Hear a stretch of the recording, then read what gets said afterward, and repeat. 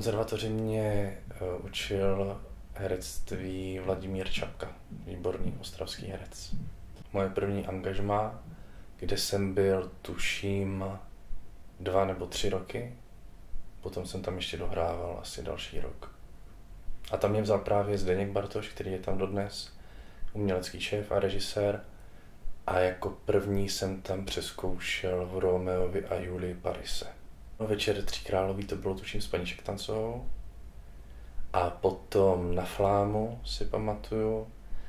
A to taky režíroval Zdeněk Bartoš a, a každý má svou pravdu. Tam jsem měl, myslím, svoji první hlavní roli.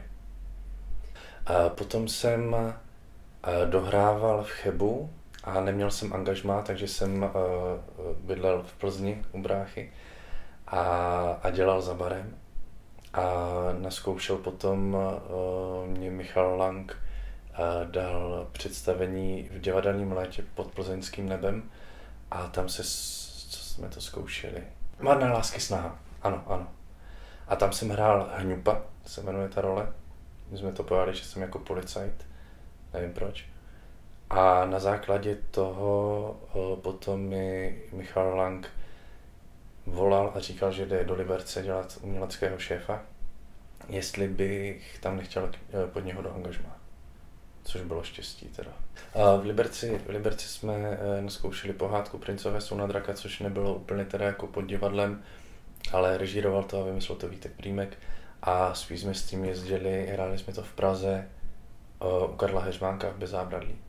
Po Praze na Laguně to, to už bylo trošku smutné zkoušení, protože v tu dobu měl to režírovat Ivan Raimond, ale bohužel zemřel a takže jsme to dělali podle jeho režijních poznámek a tam jsem hrál právě Titananého, Titunaného. V Liberci taky jsem vlastně získal uh, své první ocenění, uh, libereckou tálii, takzvanou první ročník. A já, vidíš, náhodou i tady mám sebou, takhle vypadá moje liberecká tálie. No, a potom jsem v podstatě uh, mi dal lano Jarda Slansky, protože my jsme dělali Spamelot od Monty Pythonu v Liberci a Jarda tam hostoval. Asi jsem se mu zalíbil umělecky. Takže eh, potom, když on dostal nabídku tady, že bude dělat šéfa nakladně, tak mi zavolal, jestli já bych nechtěl být pod ním. No a první, první věc, co jsem eh, naskoušel nakladně, tak byl muzikál Donár, což režíroval Ondra Brousek.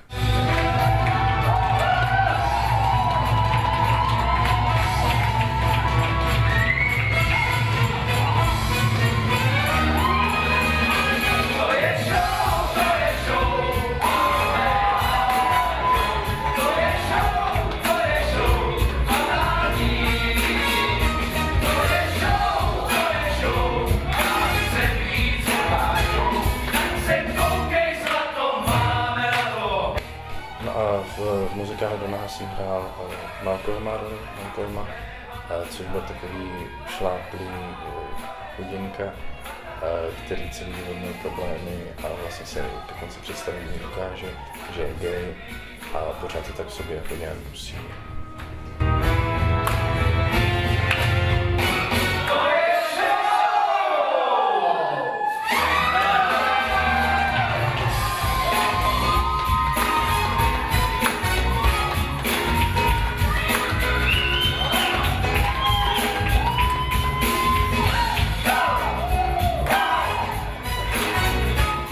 No a v Perfect Days jsem dostal dalšího geje, to režíroval uh, Martin Vokoun a to bylo docela příjemné zkoušení.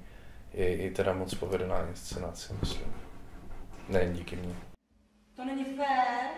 Jak můžeme vůbec tvrdit, že jsou si ženský mužský rovní nebo vůbec kdy budou? No chápeš to ty zmetku, že ty si tady jako normálně sedíš a do svých 90 budeš neustále vyrábět další a další spermie, který nahradí těch 200 milionů, co zprávě vystříká? Ty jsi zase četla, co? Ale abych řekl pravdu, tak to nebyla žádná sranda, tak rychle to z toho mýho chudáka dostat. Můj broušku, ty se prostě v holčičí ložnici neuděláš. Hmm. Ani v té tvý vyzdajnovaný koupelny. Normálně mi stačí, abych zahlídl Níla Petrika Harrise. A jsem jí jasný, jak když střelí. Past, uh, tak to byla také moje hlavní role. A to režíroval Jirka Bábek. A, a to taky nebylo, já nevím, jestli to není mnou, že, že na ty věci nechodili tolik lidi. Ale taky to, to, to byla detektivka, že jo. Uh, a taky to nebylo moc navštěvovaný, ale zkoušení bylo výborné, trošku díl se četlo, jak jsme u Jirky zvyklí, ale to není na škodu. A s kým jsem tam hrál? S Barčou Janatkovou. Jsme tam měli právě hlavní roli. A Vražda v Orient Expressu, no tak tu režíroval Peťa Mikiska z Mladé Boleslavy. A taky příjemné zkoušení, nemám tam úplně velkou roli, ale to vůbec nevadí, protože myslím, že na této malé roli ukážu dostatečně svůj talent. A myslím, že se to představení povedlo. To, že ono je to docela i pěkně udělané uh, vizuálně, můžu to tak říct, asi ano. A no a ještě jsme naskoušeli uh, nakladně mnoho povyku pro nic, což režíroval Zdeněk Bartoš, který mě vzal dokladná do, do mého prvního angažmá a kde hraju taky eh, lehce retardovaného tatínka dvou malých chlapců. A jednoho z nich hrál vždycky Ondra Štáfek a pak potom se alternovali eh, sourozenci Dlouzí, Janek a Jirka a to byla velká zábava teda zkoušet s těma malýma klukama. Já myslím, že jsme se tak navzájem inspirovali a dělali blbosti během celého zkoušení. Nám to i pěkně uteklo. A ano, občas, občas taky něco natočím, něco málo zatím. A e, když jsem byl ještě v Liberci, tak jsme zkoušeli testosteron a zavolali mi z produkce, že se točí americký film u nás, Poslední rytíři. A jestli bych tam e, zahrál roli mladého vojáka, jeden natáčecí den, což není moc.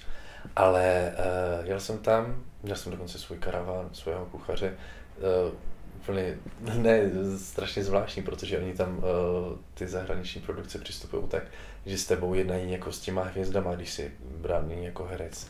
Takže jsem tam měl uh, karavan vedle Clive'a Ovna Cliffa Curtise. Super.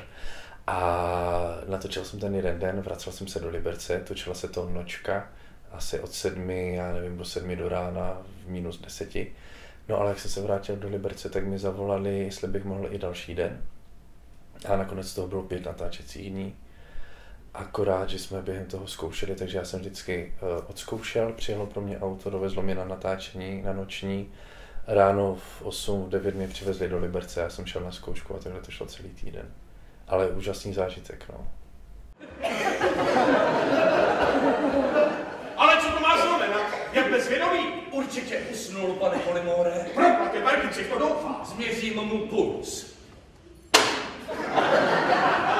Čert, aby to psal. Já neděl, že něco smyslet, to se Charlesovi nepodobá. Pane, je mrtev. Mrtev? Proklatě Bergici, to je vyloučené, je to můj nejlepší přítel. Nedýchá, pane, a srdce není slyšet. To mě podržte. Ještě před hodinou byl zdravý. Já to nechápu, byl jako rybička. Nemůže být mrtev, to přece nedává smysl. Samozřejmě, že to dává smysl. Byl zavražděn. Uh, milí diváci, já bych vás chtěl pozvat uh, na představení Eva Tropí hlouposti. Uh, výborná oddechovka, komedie, která vás určitě bude bavit. A potom třeba ještě na vraždu v Orient Expressu, i když teda každý asi zná od Agáty Christy, jak, jak to dopadne, ale zase se můžete podívat na to, jak jsme to stvárnili. thank you